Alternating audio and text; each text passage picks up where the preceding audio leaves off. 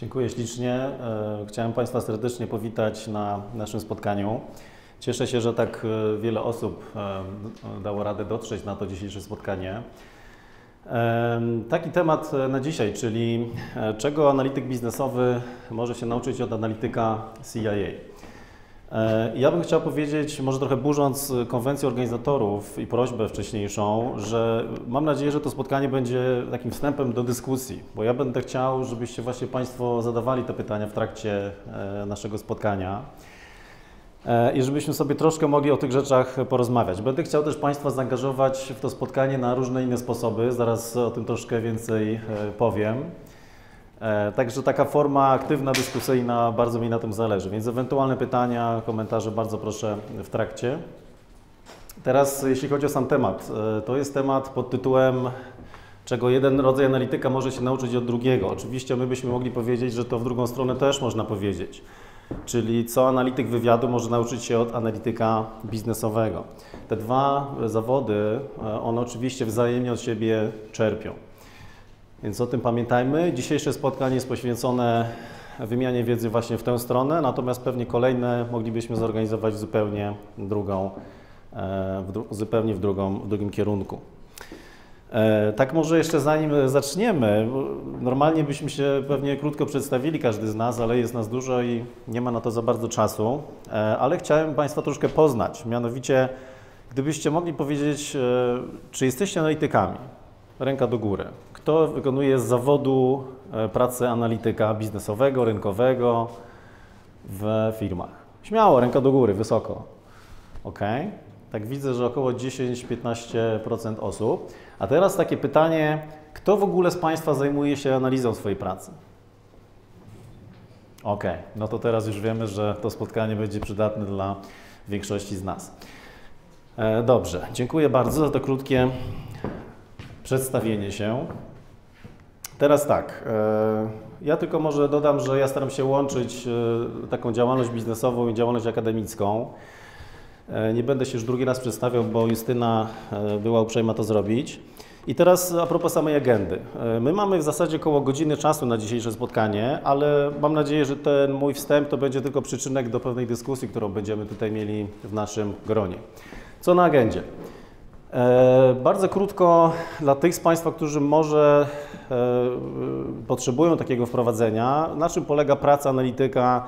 No tu jest e, w, nawiasie pokazane wywiadu, natomiast oczywiście analityk biznesowy w bardzo podobnych realiach funkcjonuje. Więc bardzo krótko, parę minut dosłownie na ten temat. Potem przejdziemy do meritum, czyli 15 zasad analityka, które stosuje analityk wywiadowczy. To oczywiście jest informacja ze źródeł otwartych, jak się Państwo domyślacie. To nie są żadne sekrety. Ja sobie pozwolę też każdą z tych zasad krótko omówić i dodać swój komentarz. Także będą takie dwie rzeczy, jak będziemy omawiać te zasady.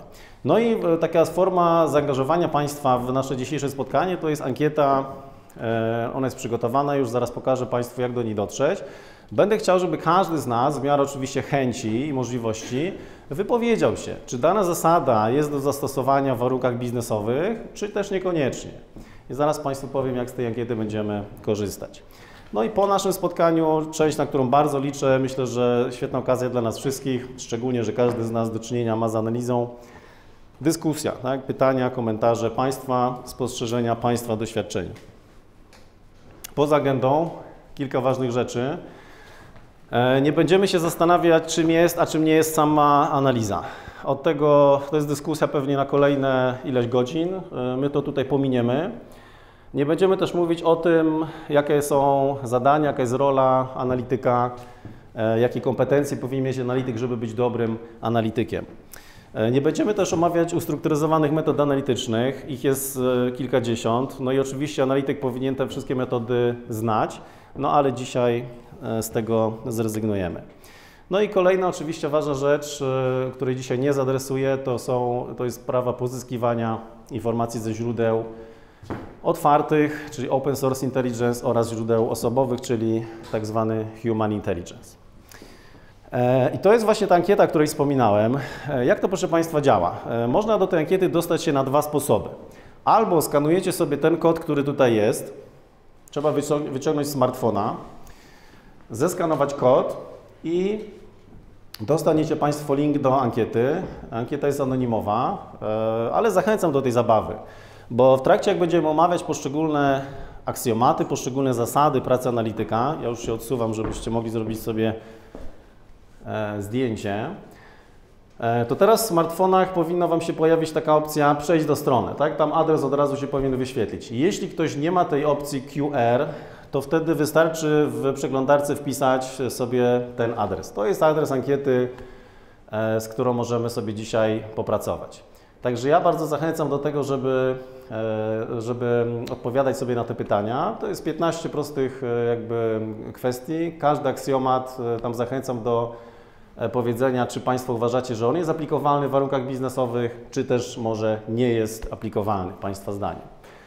E, bardzo jestem ciekaw, jakie będą wyniki tej ankiety i obiecuję, że na koniec spotkania zrobimy sobie przegląd tych wyników. Myślę, że to będzie dla nas wszystkich też bardzo do, dodatkowa inspiracja e, z dzisiejszego spotkania.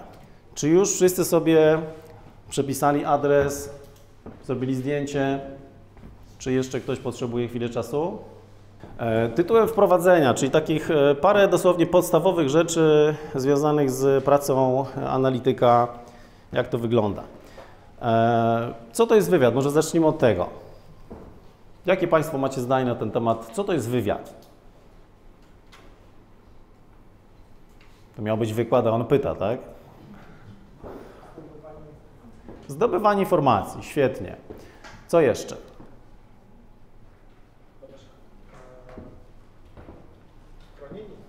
Ochrona informacji, tak. Co dalej? No, mamy informacje. Co dalej? Wyciąganie wniosków. Wy, wyciąganie wniosków, przetwarzanie i tak dalej, i tak dalej. Ja Państwu tutaj pozwolę sobie, dziękuję, te wszystkie odpowiedzi, one oczywiście są poprawne, jak się domyślacie, ale ja chciałem zaproponować taką definicję. E, to jest definicja jednej z organizacji, która się zajmuje tą działalnością. Zobaczmy na to. Wywiad to informacja, która została przeanalizowana i przetworzona tak, aby była użyteczna dla interesariuszy, przy czym przy podejmowaniu decyzji strategicznych, taktycznych, operacyjnych. Taka jest, powiedzmy, bardzo prosta, bardzo pragmatyczna definicja. Ja też e, bardzo lubię e, takie stwierdzenie, że wywiad jest sztuką zastosowania niepełnej wiedzy. My zawsze praktycznie, jak Państwo doskonale wiecie, działamy w realiach takich, że ta wiedza jest niepełna. E, no i gdzieś tam oczywiście możemy ją uzupełniać, pogłębiać i tak dalej, ale nigdy praktycznie nie ma takich warunków, w których mielibyśmy absolutny komfort. No okej, okay, mamy pełną wiedzę, możemy sobie podejmować decyzje. Więc e, to jest pewnego rodzaju sztuka. Jest tutaj szereg technik, które nas e, wspierają w radzeniu sobie z tą niepełną wiedzą. Idziemy dalej. Wywiad to jest perspektywa, tak? to jest patrzenie na daną sytuację z pewnej perspektywy. Ja to widzę inaczej, pani to widzi inaczej, pan to widzi inaczej. Zawsze patrzymy z jakiejś perspektywy. Um, ważne, żeby ta perspektywa oczywiście była wewnętrznie spójna. Ważne jest to, żeby e, ta perspektywa również była intrygująca w jakiś sposób, żeby to nie było kolejne takie samo opinia, jaką przedstawiali, jaką przedstawiały inne osoby, ale żeby coś było w tym intrygującego. No i nigdy dobra, ani nigdy zła. Może takie oksymoron, prawda? Ale no rzeczywiście tak jest, bo jak dwie osoby patrzą na daną sprawę, to tych perspektyw będzie więcej niż jedna prawdopodobnie. No i wreszcie y, chyba też y, takie fajne podsumowanie. Wywiad to jest jakby próba przewidzenia tego, co się wydarzy w przyszłości. E, oczywiście w metodyczny sposób, tak? nie za pomocą kryształowej kuli, tylko za pomocą konkretnych metod analitycznych. Ja nie wiem jak Państwo, ale ja bardzo często się spotykam z sytuacją, e, gdzie jest jakiś raport, E, I on jakby jest świetny, opisuje wszystko, tylko że brakuje tam podstawowej rzeczy, która jest ważna dla decydenta, czyli co się może wydarzyć w przyszłości. I e, nasza rola jako analityków, no to właśnie wydaje mi się jest taka, żeby pokazywać, czy próbować pokazywać, co się w przyszłości wydarzy. Jaka jest wartość dodana z wywiadu? Czyli jeśli w organizacji jest wywiad, albo jeśli organizacja korzysta z wywiadu, no to oczywiście numer jeden sprawa to jest no, dostarczanie tych produktów wywiadowczych, raportów, różnego rodzaju warsztatów i tak dalej. E, Dalej, e, bycie takim trochę outsiderem, czyli my patrzymy na sprawy e, z zupełnie innej perspektywy, w sposób najczęściej niezależny. Naszą też rolą jest to, żeby kwestionować ten status quo, czyli jakiś stan, który jest dominujący, no my go powinniśmy kwestionować wręcz, bym powiedział. No i alternatywne perspektywy, o tym już troszkę mówiliśmy. I teraz może taki najbardziej praktyczny slajd, czyli jak wygląda taki typowy, y, typowa praca analityka e, wywiadu. Ten cykl jest, y, opiera się e, na materiałach publicznie dostępnych z agencji wywiadowczych. Natomiast praktycznie w biznesie myślę, że jest bardzo podobnie. Zobaczmy, co jest krokiem pierwszym. E, Krok pierwszy to są wymagania, czyli to jest moment, kiedy ja e, idę do decydenta albo decydent mnie zaprasza i mówi, że jest do przeanalizowania taka, taka kwestia, taka, taka sprawa. E, No i tutaj bardzo często jest tak, że ten decydent albo wysyła nam to mailem, albo prosi swoją, e, swojego współpracownika o przekazanie tych wymagań. Ja tutaj zawsze zachęcam do tego, żeby mieć jednak te chociaż parę, paręnaście minut e, bezpośredniej rozmowy z decydentem na temat oczekiwań, na temat wymagań, tak, względem projektu, którym się mamy zajmować. E, Dalej, e, ustalenie zakresu i podejścia. Czyli to jest ten moment, kiedy sobie mówimy, OK, to mamy osiągnąć, no i teraz pytanie, jakimi sposobami. I to jest taki moment, w którym moim zdaniem e, analitycy powinni pracować w zespole. Dlatego, że jak Państwo doskonale wiecie, dany projekt można rozwiązać, można zrealizować na różne sposoby. No nam oczywiście będzie chodziło o wybranie tego, który jest najbardziej optymalny, najbardziej efektywny. E, Planowanie, e, czyli kto co, kiedy, gdzie zrobi, to jest w miarę mm, intuicyjne. Dalej mamy kolekcja, czy w sensie kolekcja nie, e, nie może jakaś taka e, modowa, czy kolekcja butów, ale bardziej kolekcja informacji, z angielskiego collection. I tu właśnie będzie wspomniane wcześniej Open Source Intelligence, zwany OSINT-em oraz HUMINT, czyli Human Intelligence. I znowu, Human Intelligence nie oznacza inteligencji ludzkiej, tylko po prostu pozyskiwanie, analizę informacji ze źródeł osobowych.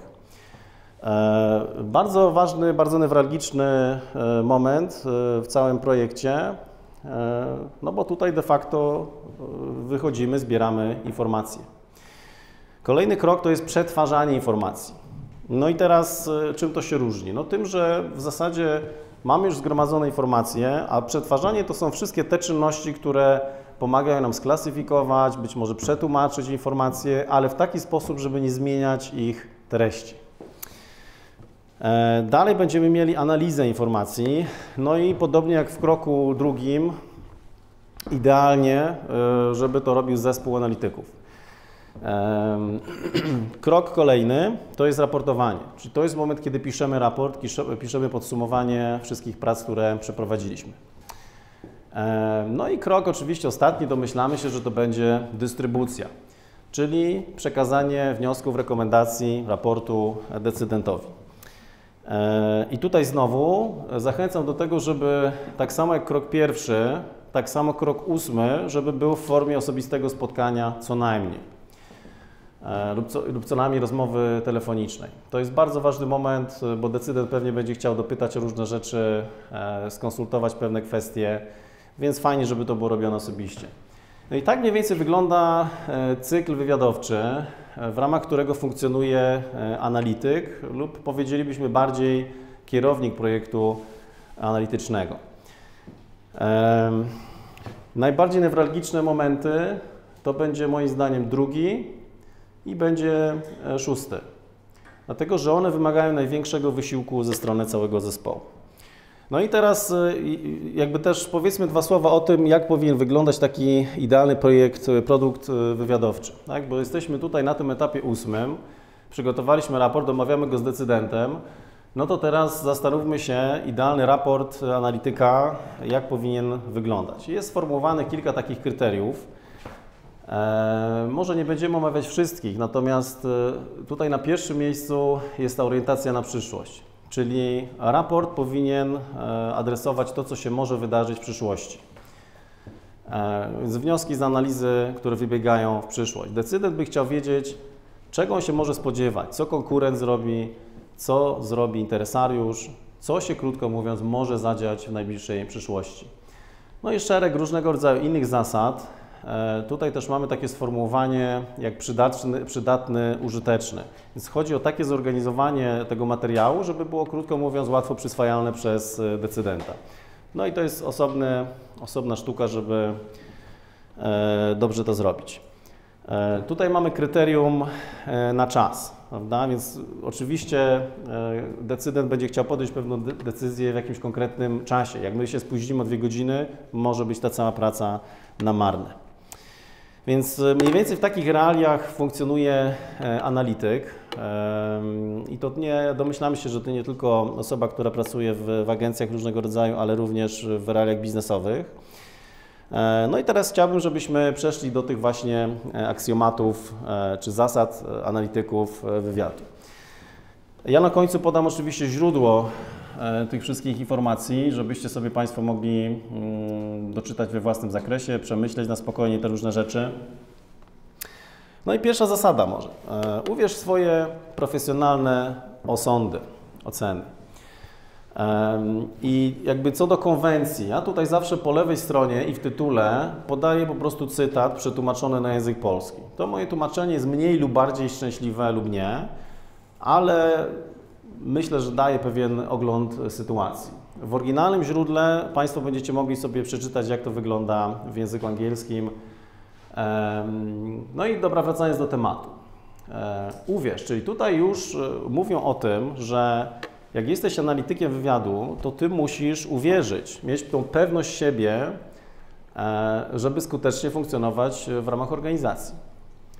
Swoje własne tutaj nas zachęcają do tego, żeby mieć własne zdanie. No i profesjonalne to jest taka sugestia, że no to jest praca, którą się zajmujemy na co dzień, to jest nasza profesja. No i wreszcie oceny, bardzo ważne słowo, bo wiele jest takich e, raportów, e, opracowań, w których mamy wszystko świetnie opisane, tylko brakuje oceny sytuacji. Czy jest dobrze, czy jest źle, jak ta sytuacja się rozwinie. No i teraz, e, tak moim zdaniem, skwitować to można w ten sposób, że właściwie bądź po prostu niezależny w swoich pracach analitycznych. Miej własne zdanie, uwierz w siebie, e, bo to jest podstawa do e, skutecznej e, działalności. Tak? Postaw na swoim, jeśli naprawdę wierzysz, że analiza wspiera daną konkluzję. No i też zobaczcie Państwo takie drugie tutaj stwierdzenie. Jeśli ktoś jest szefem Twoim, ma wyższy stopień lub dłuższy staż, nie musi to wcale oznaczać, że wie więcej na dany temat. No i ten rysunek po prawej stronie, prawda? Nigdy, ale to przenigdy nie myśl poza kuwetą. Też takie mniej lub bardziej szczęśliwe tłumaczenie. No ale zobaczmy o co tutaj chodzi. Analityk to będzie oczywiście ten kot, prawda? A ten tutaj to będzie prawdopodobnie jego szef.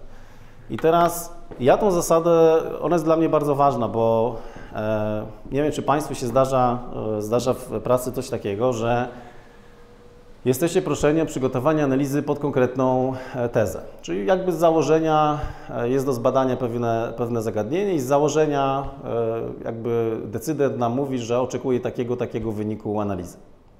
Zdarzają Wam się takie przypadki? No, od czasu do czasu się zdarzają, prawda? I teraz właśnie ta odwaga analityczna to będzie powiedzenie, nie, ja takiej analizy po prostu nie robię. No ale to teraz, y, jak bardzo trzeba być odważnym, żeby coś takiego powiedzieć, bo z czym się to może wiązać y, na koniec dnia? Brakiem zlecenia, brakiem pracy i tak dalej, prawda? Więc y, jakby zobaczcie, ta, nawet już ta pierwsza zasada i jej wdrożenie w praktyce jest, no, wymaga wielkiej odwagi. Tak? Powiedzieć swojemu szefowi, że no ja takiej analizy nie zrobię, która ma mieć określony wynik. Ja zrobię niezależną analizę i przedstawię swoje wnioski na zdrowie. Więc e, bardzo ciekawa już e, na samym początku e, kwestia. Prawda? No i wreszcie ten kot tutaj, który jest. No ja muszę Państwu powiedzieć, że nie wiem, czy macie kota, ale ja mam. I ten mój kot to bardzo nie lubi myśleć w kategoriach kuwety. On raczej zwykle lubi poza kuwetą.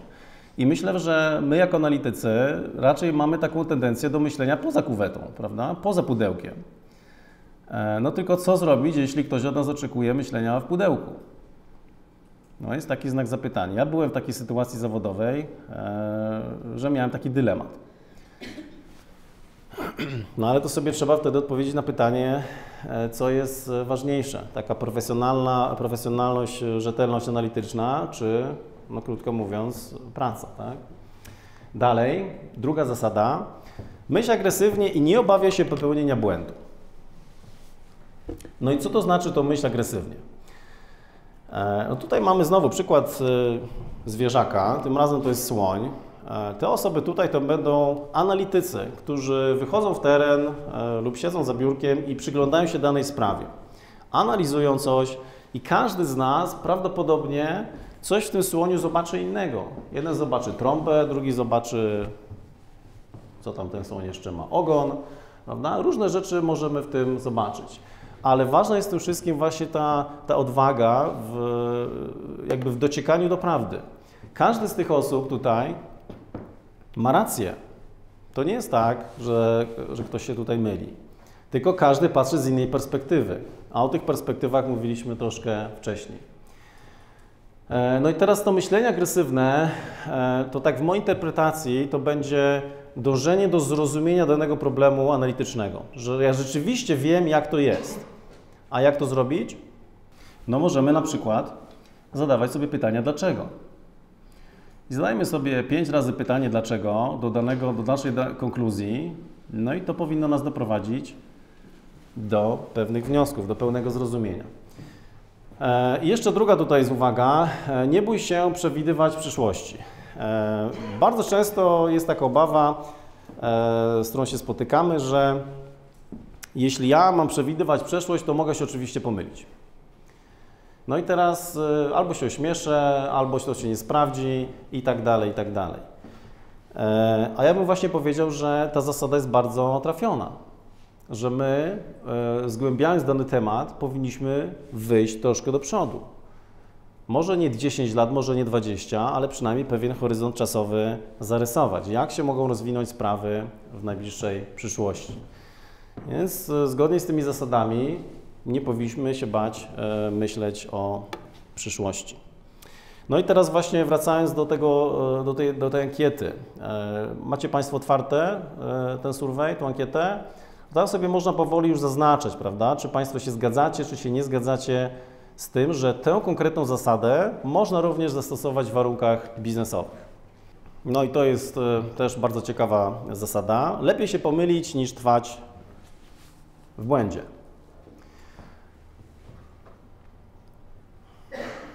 E, bardzo duże znaczenie ma tutaj oczywiście ego.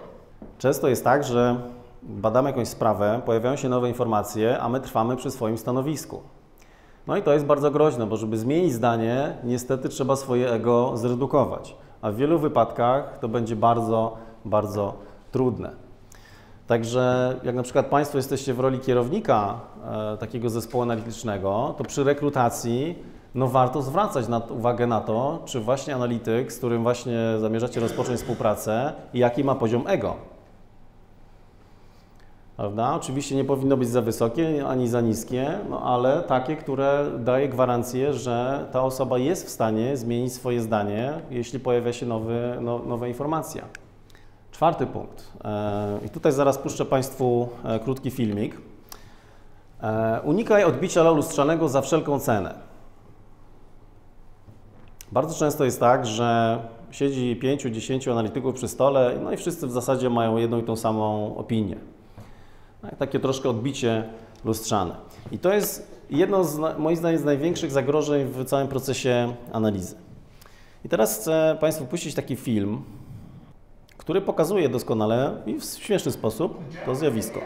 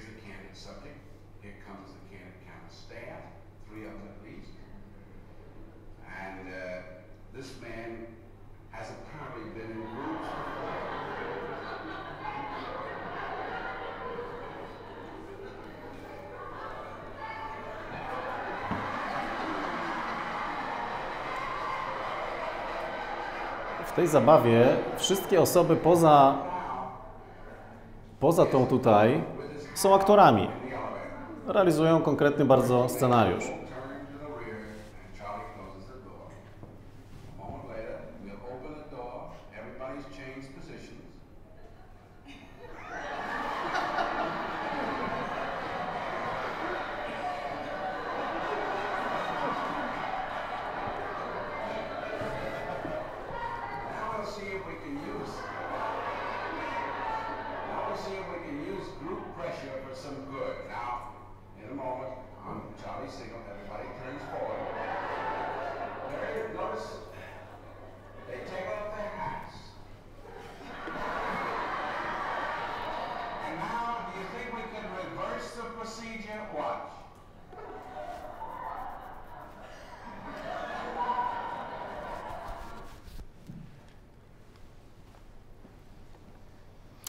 Także to jest taka wi- wizualizacja tego zjawiska lustrzonego odbicia. No tak może śmiesznie to wygląda na filmie, ale niestety to może mieć e, tragiczne skutki, prawda? Jeśli siedzą przy stole analitycy, którzy, no, krótko mówiąc, powielają opinie innych. Więc e, no, jakby zachęcam tutaj do, do tego, żeby zawsze jednak mieć to własne zdanie, e, no i nie wpadać w ten, w ten jakby, nie wiem, syndrom powiedzmy, tak, w to zjawisko. A w szczególności, żebyśmy my byli świadomi, że takie zjawisko istnieje. I jak analizujemy różne kwestie, no to zdajmy sobie z tego sprawę, uwzględnijmy to, że coś takiego może mieć miejsce. Dalej, e, kwestia e, rozpowszechniania produktów, e, czyli zasada piąta, wywiad nie ma żadnej wartości, jeśli nie jest rozpowszechniony. No i tak wygląda w praktyce taki powiedzmy no, sala, w której odbywa się executive briefing, czy intelligence briefing. E, I to jest e, sytuacja taka, że no, si- siedzi kilka, kilkanaście osób, tu na razie oczywiście nikt nie siedzi, bo sala jest pusta, ale oni za chwilę wejdą, prawda? I e, najczęściej są to osoby, no oczywiście decydent powinien być na takim briefingu, są to osoby, które odbierają nasze, w- cudzysłowie odbierają, tak? Które odbierają wnioski, które opracowaliśmy, słuchają naszych rekomendacji i tak dalej. No i tutaj zgodnie z tymi zasadami powinniśmy to robić w sposób jasny i efektywny. Tak? Przekazać informacje wywiadowcze i Twoją ocenę decydentowi w odpowiednim czasie.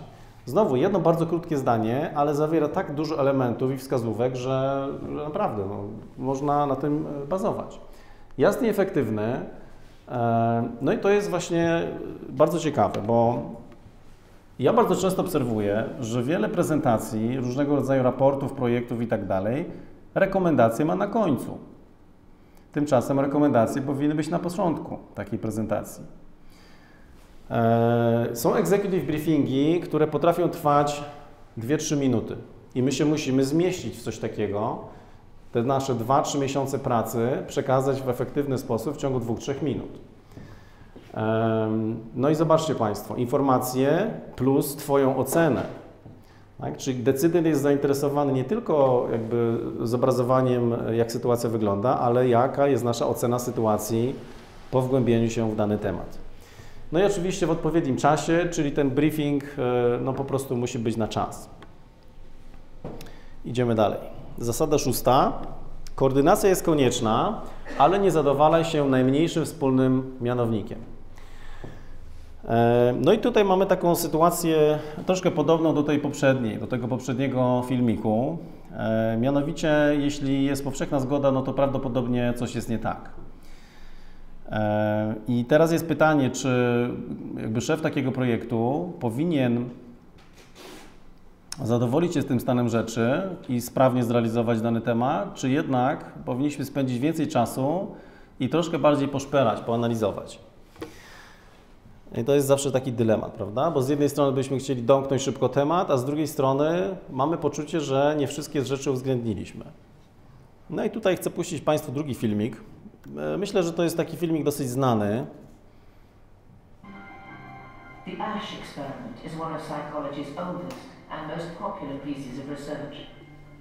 A volunteer is told that he's taking part in a visual perception test. What he doesn't know is that the other participants are actors, and he's the only person taking part in the real test, which is actually about group conformity. The experiment you will be taking part in today involves the perception of line length. The task will be simply to look at the line here on the left and indicate which of the three lines on the right is equal Przepraszam, film jest po angielsku, może krótkie wprowadzenie. E, Uczestnicy tego ćwiczenia mają za zadanie powiedzieć, e, czy ta linia jest podobna do jednej, drugiej czy trzeciej. Tak? Mają porównać tą linię z tymi trzema pozostałymi i stwierdzić, która jest takiej samej długości. E, Wszystkie osoby oczywiście w pokoju e, są aktorami, poza jednym rzeczywistym uczestnikiem eksperymentu. The actors have been told to match the wrong lines. The volunteer will be monitored to see if he gives the correct answer or if he goes along with the opinion of the group and gives the wrong answer. In the first test, the correct answer is two. Uh, one. One. One.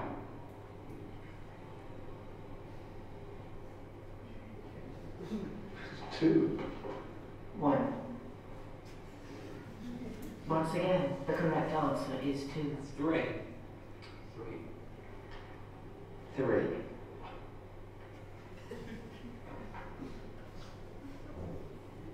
Three. The ASH experiment has been repeated many times and results have been uh, supported again and again. We will conform to the group. Again, we're very social creatures. We're very much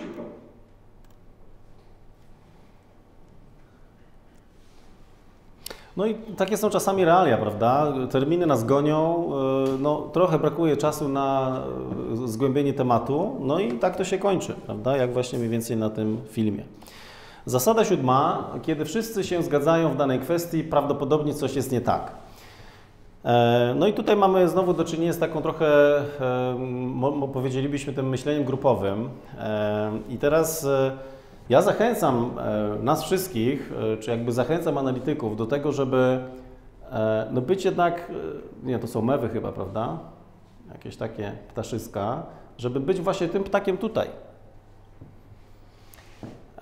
Nie wiem jak Państwo, ale no doskonale jakby czujemy, że jeśli odwrócimy perspektywę i będziemy patrzeć na sprawę w inny sposób, to zdarzają się takie projekty, w których po analizie tego stanowiska wszyscy zmieniają zdanie.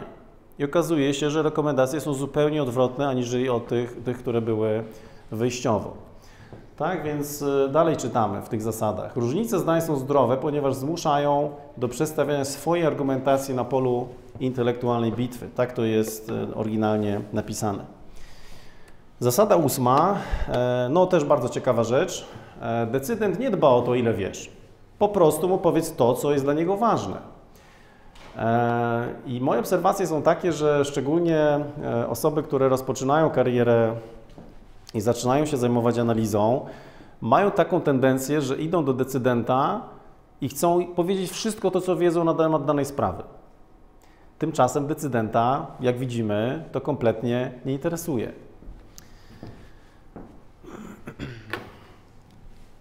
Już e, nie wspominając o tym, że e, e, te, nadmiarowe szczegóły zaciemniają ważne fakty. I to jest bardzo częste zjawisko, że raport ma 100 stron, a de facto jakby tak krytycznie do tego podejść, to tam jest może trzy strony rzeczywistego tekstu, który by się nadawał dla decydenta, a reszta to powinna iść do załączników. Prawda? No I teraz pytanie, czy decydent coś takiego przeczyta? No oczywiście, że nie przeczyta. Takie są czasy, że decydent nie przeczyta stustronicowego raportu.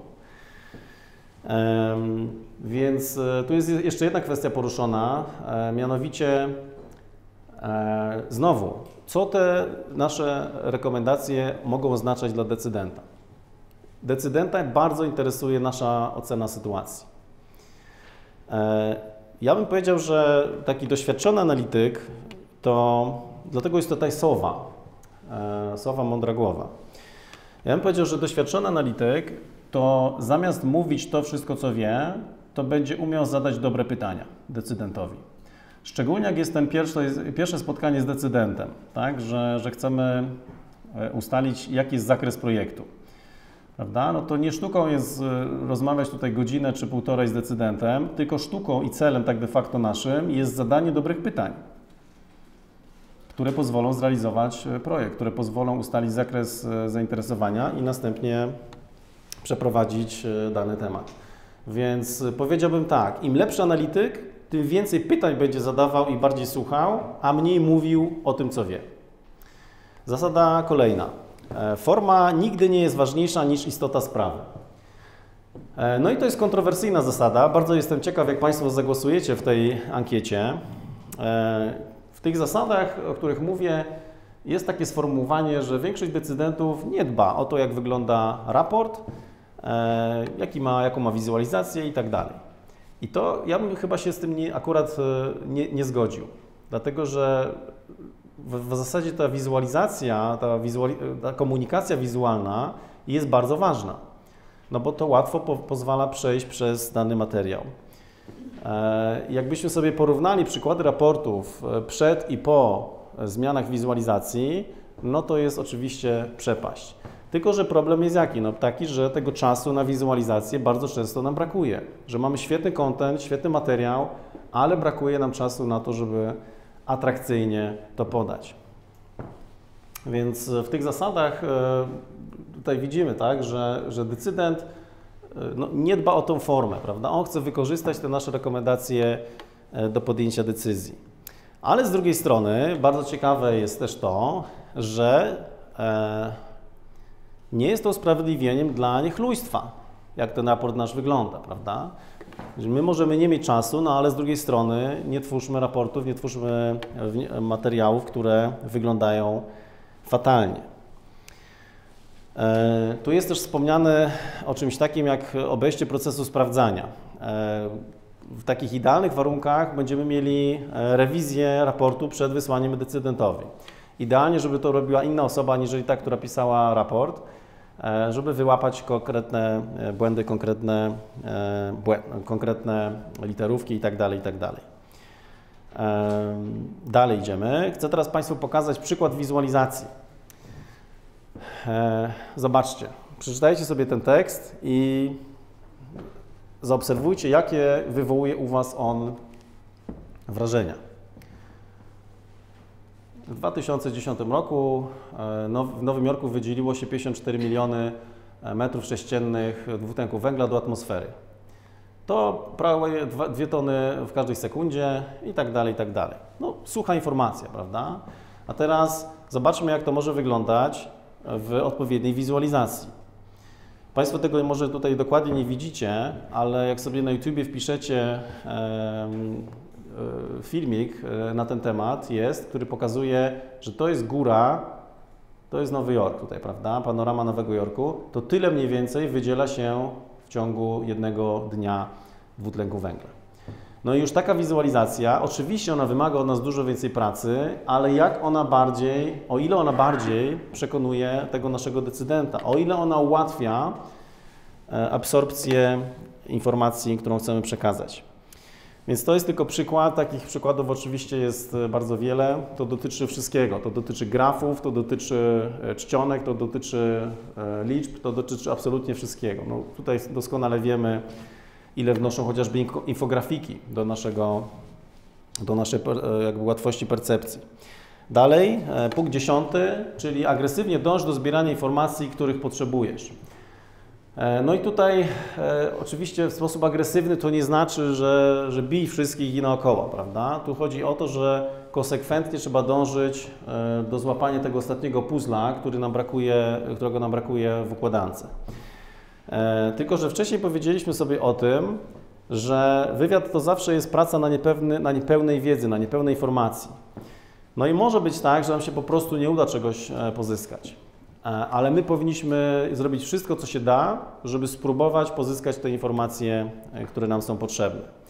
No i jeszcze jedna taka tutaj zasada, e, mianowicie, że będąc analitykiem, ja znam z jednej strony wymagania decydenta i w tych regułach, o których tutaj mówimy, jest napisane, że bardzo często lepiej niż sam decydent ja będę wiedział, czego on może chcieć. A z drugiej strony wiem, kto może pozyskać te informacje, których ja potrzebuję. Więc analityk jest tak troszkę e, w pośrodku, prawda, pomiędzy decydentem a osobami, które się zajmują pozyskiwaniem informacji. I to jest takie sformułowanie też czasami lepiej niż on sam. No i na, na pierwszy rzut oka by się wydawało, że takie trochę może aroganckie, ale nie wiem, jakie są Państwa doświadczenia, o tym za chwilę pewnie porozmawiamy. Natomiast jak decydent dany współpracuje z analitykiem przez e, kilka, kilka lat, kilka miesięcy, to rzeczywiście jest tak, że wystarczy dosłownie dwa zdania i ten analityk już będzie wiedział, o co chodzi decydentowi, jak ten materiał ma być przygotowany. I czasami to analityk będzie kwestionował trochę zakres, który zleca decydent, bo albo stwierdzi, że tego się nie da zrobić, albo stwierdzi, że to można zrobić inaczej, albo że jeszcze coś innego powinniśmy zbadać, prawda? Więc ta rola analityka i decydenta, współpraca analityka i decydenta, ona powinna być taka bardzo, bardzo partnerska. Że analityk to nie jest tylko osoba, która wykonuje to, co decydent sobie zażyczy, ale również potrafi pewne rzeczy doradzić, czy wręcz zakwestionować. Jedenasta zasada, nie traktuj procesu edycji zbyt poważnie. E, no i tutaj, jak każdy z nas, który pisze raport e, z, z projektu, no mamy taką tendencję, że bardzo się do tego przyzwyczajamy, prawda? Że to jest moje sformułowanie, ja na tym siedziałem dwa miesiące. No ale jeśli jest tak, że jest ten proces rewizji, to przyjmijmy te, te, te wszystkie wskazówki, które nie zmieniają konkluzji, nie zmieniają sensu, e, sensu wniosków, prawda? E, no ale jeśli już jest e, zmiana, jest ingerencja w treść konkluzji, no to e, zgodnie z zasadami powinniśmy zaprotestować. Ja tutaj, to już jest moja, mój taki komentarz, zasada ogólna 2 plus 98. Ja mam taką zasadę, że wszystkie raporty staram się sprowadzić do dwóch stron streszczenia menedżerskiego, a reszta to są załączniki. I też tutaj, jeśli chodzi o strukturę raportu, no to jest dla mnie niesamowite, że my w polskich realiach rekomendacje zamiast dawać na początku, zawsze idą na koniec. Nie wiem, jakie są Państwa wrażenia i doświadczenia. E, lektura raportów, które bądź tworzycie, bądź e, dostajecie jako, jako klienci, ale te rekomendacje powinny iść na sam, na sam początek. I są bardzo konkretne powody ku temu. 12. To już jest taka sprawa e, troszkę dotycząca rozwoju własnego warsztatu pracy. Tak? Czyli zasada ta mówi, poznaj swoich kolegów, koleżanki po fachu i często, się z, nim, i często z nimi rozmawia. E, ponieważ te zasady, one dotyczą agencji, no więc tutaj będziemy mieli oczywiście agencje wywiadowcze i rozmawiać z nimi często, dowiadując się, czym się zajmują, informując ich o tym, co Ty robisz. Ale nie tylko wtedy, kiedy coś potrzebujesz, ale po prostu, w miarę regularnie wymiana doświadczeń, wymiana poglądów. E, bardzo ważna rzecz, w dzisiejszym świecie pewnie jest tak, tak, że to nie tylko będą osoby z innych firm, z innych organizacji, ale również wszelkiego rodzaju spotkania, takie jak dzisiaj, czy spotkania, czy konferencje, e, które dotyczą e, analityki. E, dalej, e, nigdy nie pozwól, zasada 13, aby Twoja kariera miała pierwszeństwo przed Twoją pracą. No właśnie, czyli tak moglibyśmy powiedzieć, że czasami będziemy trochę niepopularni, tak? bo nasze wnioski, nasze e, przemyślenia będą troszkę inne niż oczekiwane. No i lądujemy w takiej sytuacji trochę albo jestem baranem czarnym, czarną owcą, albo jestem białą owcą i awansuję. To jest trochę to, co mówiliśmy na początku. Więc muszę sobie zadać pytanie, e, co jest dla mnie ważniejsze: rzetelność analityczna czy no, bycie, praca zgodnie z oczekiwaniami e, takimi pejoratywnymi, prawda? No i zgodnie z tym, e, z tym zestawem zasad, e, zobaczcie Państwo, e, tutaj no, nie powinniśmy przedkładać kariery ponad rzetelność analityczną. Więc ta trzynasta zasada dosyć taka ostra. 14. E, bycie analitykiem to nie jest konkurs popularności. No i tutaj mamy z kolei chyba króliki, prawda? To jest sytuacja, w której mamy dużą marchewkę i mały korzonek chyba, tak? Czyli mamy świetne merytorycznie wnioski, solidna analiza, no ale taki aspekt e, powiedzmy prezentacyjny jest troszkę gorszy. Tutaj mamy odwrotną sytuację, że ta analiza będzie bardzo kiepska, no ale za to jest popularna. Jest zgodna z oczekiwaniami. No i teraz ta zasada mówi o tym, że lepiej być jakby w tej roli, prawda? Czy, czy wręcz mówi, że jeśli chcesz być dobrym analitykiem, no to nie będziesz się nastawiał na coś takiego jak tutaj. E, No i nasze zadanie główne to jest dążenie do prawdy. Tak to jest e, sformułowane wprost. I piętnasta zasada, ostatnia, to jest e, taka dotycząca, dzisiaj byśmy powiedzieli, e, work-life balance. Tak? Nie traktuj siebie i swojej pracy zbyt poważnie. No, czyli takie, krótko mówiąc, przestrzeżenie przed wpadnięciem trochę w pracoholizm. Wręcz sformułowanie jest e, takie, że wykonujesz pracę, a nie prowadzisz jakiś tam krucjat, prawda? Także tak mniej więcej wyglądają te zasady. Zachęcam teraz Państwa do tego, żeby zagłosować. Jeszcze parę minut e, może na to poświęcimy. Ja zaraz wyświetlę wyniki tego naszego głosowania, tej ankiety, dobrze? Tak, już, e, już wyświetlam. Tak, pytanie było takie. Czy poniższe zasady analityków wywiadu mają zastosowanie w pracy analityka biznesowego? No i tutaj mamy zielone to są na tak, czerwone na nie, a pomarańczowe odpowiedzi to są nie wiem. Tak, z tego co pamiętam, tak to było sformułowane. No i pierwsza zasada zdecydowana większość tak, druga też. Tutaj z czwartą zasadą troszkę mniej, mniejszy odsetek. Unika odbicia lustrzanego. No Więc w przypadku większości zasad widzę, że o, tu jest bardzo ciekawe, z tą formą, prawda? E, czyli Państwo jesteśmy tak troszkę podzieleni, tak? Że jedni uważają, że to ma znaczenie, drudzy, że niekoniecznie.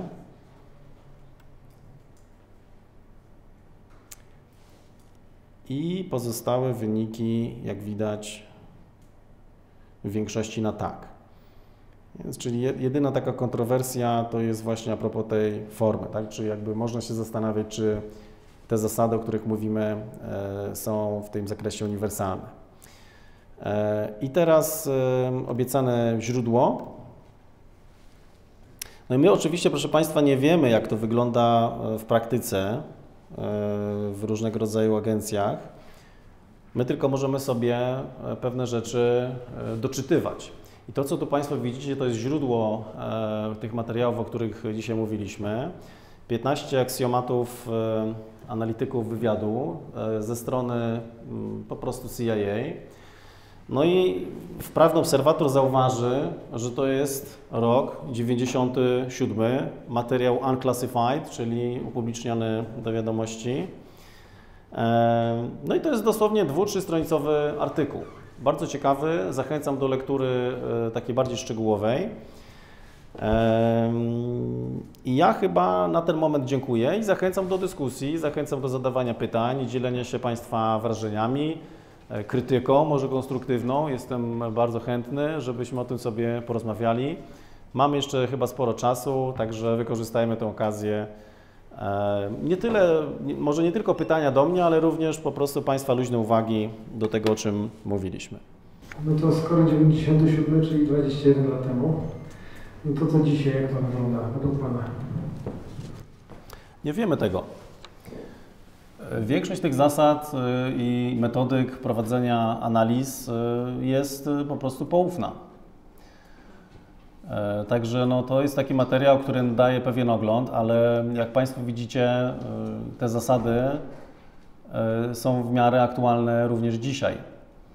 Em, Ja powiedziałbym, że to jest jedno z lepszych kompendiów e, takich wskazówek dla analityków, e, do którego ja dotarłem na przestrzeni swojej całej pracy zawodowej. E, Dlatego pomyślałem, że może to być ciekawy temat do dyskusji, mimo że sam materiał jest nieaktualny. Natomiast metody analityczne, e, no może trochę poza tym, że, że trochę mamy dzisiaj więcej technologii, one w zasadzie, sam proces analizy i sam cykl wywiadowczy, o którym mówiliśmy,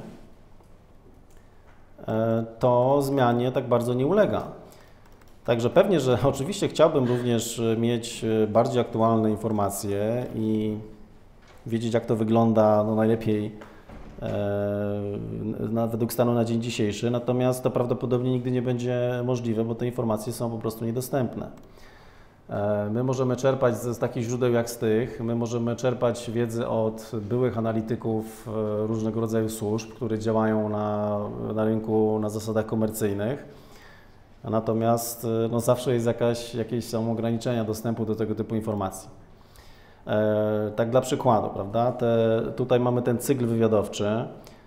E, Tutaj mamy 8 kroków, ale różne organizacje wyróżniają różną liczbę tych kroków. Niektóre organizacje e, łączą wymagania z podejściem, niektóre łączą analizę i przetwarzanie razem i w efekcie mamy na przykład 4 kroki w tym cyklu.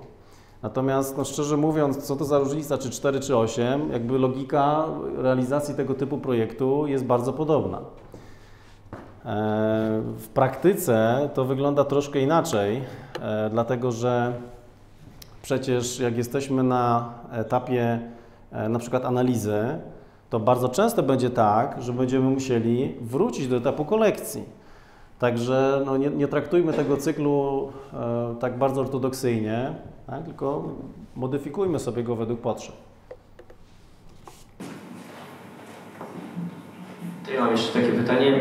W takim razie, e, czy nie lepiej byłoby przedstawić procentowo na przykład e, prawdopodobieństwo wystąpienia jakiejś e, przyszłości, niż głosować i, no nie wiem, zastanawiać się nad tym, kto, które zdanie jest lepsze, szczególnie, że, że ten decydent ma podjąć tą decyzję.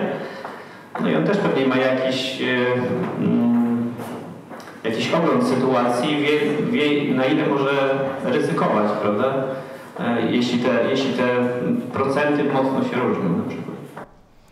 E, To jest w ogóle genialny temat. E, Dziękuję, że Pan go podniósł. Jeszcze mam na Państwa no, potem zagadkę na koniec, takie zadanie analityczne, może nam się uda to zrobić.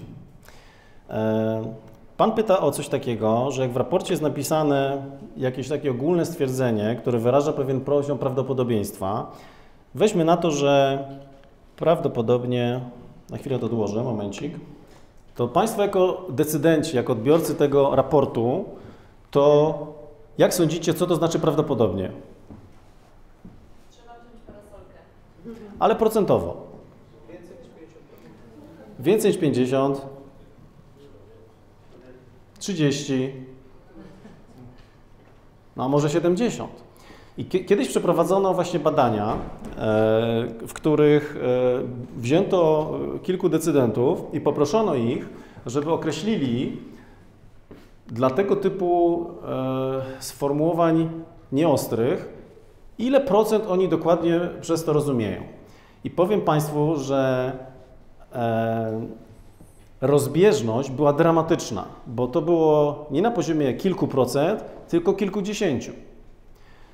I po przeprowadzeniu tego typu badań e, do metodologii analitycznej e, wprowadzono takie zalecenie, że e, poziom prawdopodobieństwa należy wy, wyrażać numerycznie, liczbowo, żeby uniknąć tego typu sytuacji.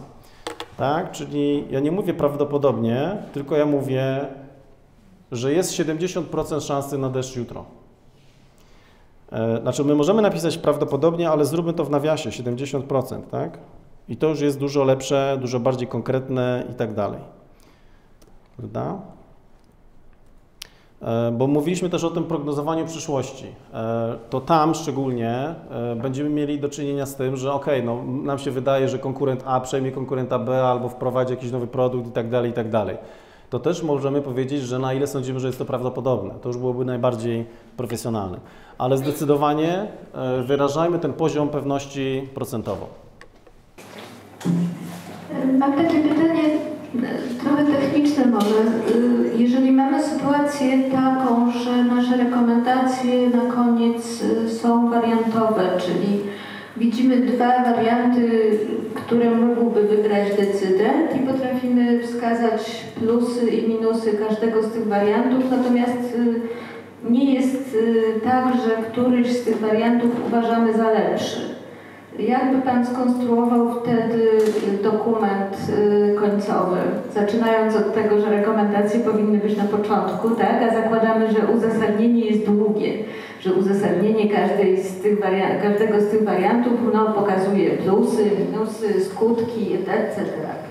No to w takiej sytuacji napisałbym dokładnie to, co Pani powiedziała, tylko bym zrobił jeszcze jedną rzecz. E, umówiłbym się na, warsz- umówiłbym się na warsztat e, decyzyjny e, z odbiorcą tych rekomendacji. Bo to jest szczególnie taki przypadek, że on będzie chciał omówić wszystkie za i przeciw, żeby sobie wyrobić zdanie. Ale też bym się nie bał tego, żeby w raporcie napisać, że są dwa warianty czy trzy warianty, jakieś scenariusze. Zresztą w ogóle metody scenariuszowe jak najbardziej są stosowane w analizie i, i, i to jest jakby tutaj, no, tylko tak jak mówię, no wtedy warto upewnić się, że z decydentem rozmawiamy, e, przegadujemy te tematy, bo szczególnie wtedy to będzie takie coś, że on będzie chciał o tym porozmawiać. Tak mi się wydaje. E, no przykładowo, jeśli jeśli spółka zamierza jedna przejąć inną spółkę w innym kraju, e, no to będzie mnóstwo różnych za i przeciw, prawda? Mnóstwo różnych e, wariantów. No ale na koniec dnia my musimy powiedzieć, czy to się opłaca, czy to jest perspektywiczne posunięcie z, z punktu widzenia na sytuację konkurencyjną, czy to jest, e, czy to nie jest konstruktywne posunięcie. Także no, jakby dialog z decydentem zawsze tego typu dylematy powinien rozwiązać. E,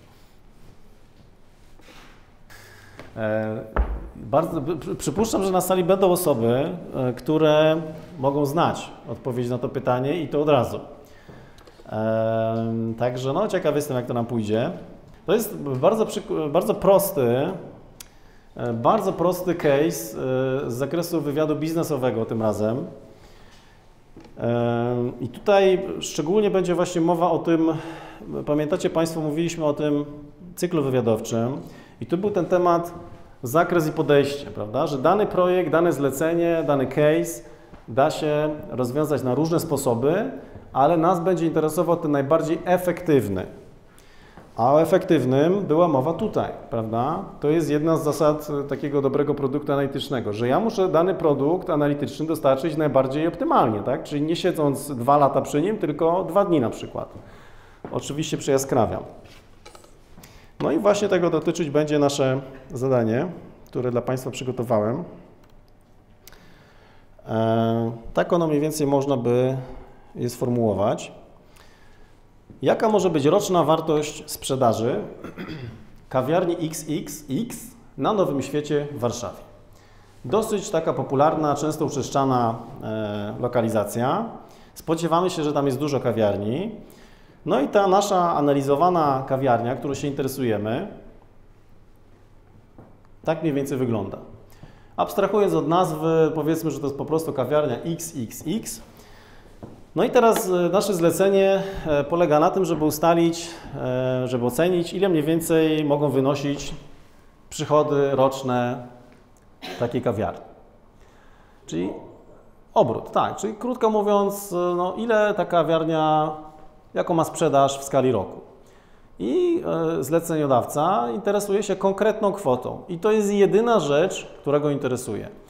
Zleceniodawcy czy decydenta nie interesują trendy w tych kawiarniach, jaka jest oferta produktowa. Nie. Tylko i wyłącznie jest to e, wartość tej sprzedaży. No i teraz e, może chwilę jeszcze taki kontekst. Kto w ogóle mógłby się interesować taką informacją? Kto tu potencjalnie mógłby być, mógłby być naszym zleceniodawcą? Profesjonalny nabywca, ale czego? Kawy? Kawy nie. Kawiarni. Czyli ktoś, kto może chce kupić tą kawiarnię, prawda? Albo otworzyć podobną i tak dalej, i tak dalej. Eee, a to może być konkurent? Może być, oczywiście, że tak. tak. Czyli jest to takie realistyczne zlecenie, prawda? E, tak jak powiedziałem, ono jest bardzo takie, no można powiedzieć, proste, bo normalnie e, tak proste zlecenie e, rzadko się dosyć zdarza, ale myślę, że na nasze potrzeby ono będzie bardzo ciekawe. No dobrze, to tak wygląda kawiarnia. No i Państwo jesteście tymi analitykami i teraz jesteśmy na etapie budowania podejścia do realizacji takiego zlecenia. E, dodatkowo wiemy, że na tej mniej więcej ulicy e, jest cała masa, jak widać, różnego rodzaju kawiarni. Po takim bardzo prostym e, researchu w Google Maps. Więc tak wygląda generalnie kontekst, prawda? No i teraz zastanówmy się, jakimi metodami moglibyśmy zrealizować taki temat. Super. Czyli powiedzmy, że z tych wszystkich kawiarni, wszys- wszystkich podmiotów, które mamy tutaj, bierzemy sobie na tapetę e, Starbucksa, Costa Coffee e, i jakieś takie większe podmioty i próbujemy uzyskać informacje e, o ich raportach finansowych, chociażby w KRS-ie. No to powiedzmy, że taki Starbucks nam publikuje wyniki albo Costa Coffee. e, No i że to jest jakaś tam kwota, dzielimy to na liczbę lokali w całym kraju i dostajemy jakąś średnią, prawda? No i teraz od razu się prze- przeanalizujmy sobie, czy ta średnia będzie relevantna, czy będzie adekwatna do naszego case'u. Dlaczego? No właśnie, bo średnia sprzedaż kawiarni w Polsce to ma się nijak do sprzedaży takiej kawiarni w, topowym, w topowej lokalizacji w mieście. Więc jak najbardziej Pana podejście jest dobre, każdy jak, zresztą każde z nich będzie miało plusy i minusy. Czyli mamy pierwsze podejście, brawo. Kto chce jakiś inny pomysł zaproponować? No i sp- sprawdzić średni zakup jednego, jednej osoby w takiej kawiarni. To tak naj, naj, naj, najszybciej, a no już dokładnie, no to po prostu można by z, z umieścić jakieś urządzenie mierzące rzeczywiście, czy nawet, e, nie wiem, dwa urządzenia w podobnych miejscach na tej ulicy.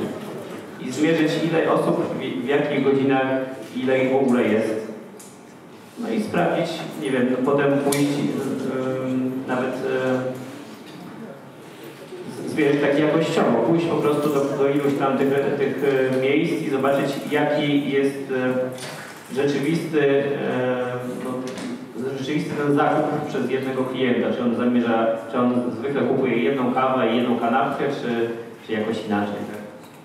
Super, dziękuję Panu bardzo. Czyli stawiamy gdzieś jakiegoś obserwatora, czy to człowieka, czy urządzenie, które nam pewne rzeczy e, rejestruje. E, jak każde podejście, również to ma swoje ograniczenia. E, zobaczmy kolejne propozycje. Ja bym zapytał pracownika, jaki jest dzienny. Bardzo dobrze, Pan by zapytał pracownika. No i teraz zastanówmy się nad tym. Jak się pytam pracownika, to ten pracownik może przekazać właścicielowi informację, że ktoś się interesuje no, takimi dosyć newralgicznymi sprawami. A nasz zleceniodawca, nasz decydent w większości wypadków będzie chciał pozostać jaki? Anonimowy. Więc musielibyśmy sobie dobrze jakby rozważyć e, ryzyka związane z wybraniem takiej metody. Ale jak najbardziej ma Pan rację, to już byłoby pozyskiwanie informacji ze źródeł jakich? Osobowych, czyli human intelligence. Super. To mamy trzy aż na ten moment e, warianty. Wydaje mi się, że jeszcze dobrym elementem by było przeprowadzenie analizy paragonów fiskalnych poprzez y, przeprowadzenie zakupów kontrolowanych, numeracji paragonów i średniej przeciętnej zakupów e, w trakcie tych paragonów oraz, i to druga część tego, to odniesienie się do przeprowadzenia analizy kosztów takiego punktu w stosunku do metrażu miejsca i ponoszonych kosztów e, celem określenia wartości, wartości kosztów i przyłożenia do tego y, procentu marży. Świetnie, bardzo ciekawa propozycja, czwarta już z kolei. A teraz jakby Pan jeszcze mógł wyjaśnić albo zaproponować w praktyce, fizycznie, jakbyśmy to zrobili. Każde takie miejsce posiada kasy fiskalne. Kasy fiskalne, paragony są numerowane. Można określić średnią przeciętną zakup y, przychodząc pierwszym i ostatnim w danym dniu lub w danym tygodniu określić wielkość. Y, To jest pierwsza rzecz. Druga rzecz, można odnieść to do danych pozyskanych ze Starbucksu i z e, powiedzmy zbliżonych kawiarni w tym e, miejscu i określić średnią przeciętną obrotu w danym okresie czasu, to oczywiście uśredniając e, też okresy niedziele i weekendy i tak. A dru- trzecia sprawa to odnieść to do kosztów, czyli określić wartości kosztów sprzedaży dla danych towarów i dla, dla danych y, e, elementów, w tym także można określić także zużycia mediów, y, e, światła, wody, y, gazu, określić ilość pracowników i przez to stwierdzić wartość kosztów, jakie są ponoszone na punkt co pozwoli nam na określenie wartości sprzedaży, mając też informację o wielkości, e, jak gdyby e, sposobie, dlaczego jest wystawione to do sprzedaży, możemy określić, czy ten punkt e, będzie przynosił, jakie marże są zastosowane, czy ten punkt przynosi zyski. No to jest cała analiza finansowa. Super, czyli tak w praktyce upraszczając e, troszkę to, co Pan powiedział i może trywializując, idę w poniedziałek o godzinie 9, kupuję kawę za 5 zł czy tam 10, co dostaję? Paragon. Co jest na paragonie? Numer paragonu, numer transakcji. Idę za tydzień, w poniedziałek o 9, kupuję to samo za 10 zł, co dostaję? Paragon z numerem e, transakcji. No to już wiem, ile w ostatnim tygodniu było transakcji. E, Uśredniam sobie jakoś e, średnią wartość transakcji, no mnożę jedno przez drugie i mam bardzo grubą aproksymację. To czwarte podejście, ile mnie kosztowało czasu? 2 razy 10 minut, prawda? Ile mnie kosztowało pieniędzy? Dwa razy dwie, znaczy dwie kawy, prawda? Czyli e, w kolejnym kroku byśmy się zastanawiali, już mamy cztery podejścia, prawda, wylistowane. Które z tych podejść byłoby najbardziej adekwatne, żeby zrealizować takie zlecenie? No i na tym między innymi polega analiza tego typu zagadnień. E, to oczywiście, tak jak wspomniałem, jest e, bardzo prosty przykład. E, No, w zasadzie tylko tutaj sam temat to jest pozyskanie informacji. E, No ale jak mówimy o analizie, no to, to właśnie sami Państwo widzicie, że no co najmniej cztery sposoby na e, rozwiązanie danego tematu. No i chcielibyśmy mieć w zespole takiego analityka, który nam powie, to się da zrobić w 20 minut. I będzie w miarę wiarygodne. To podejście, o którym pan, e, które Pan zaproponował, ono jest szybkie, tanie, oczywiście ma swoje wady. Jakie na przykład? Sezonowość, prawda? I tak dalej, i tak dalej. E, No ale jeśli decydent daje nam dwa tygodnie na realizację projektu, to akurat podejście może być najlepsze. Dziękuję ślicznie w takim razie za ciekawe pytania, dyskusje.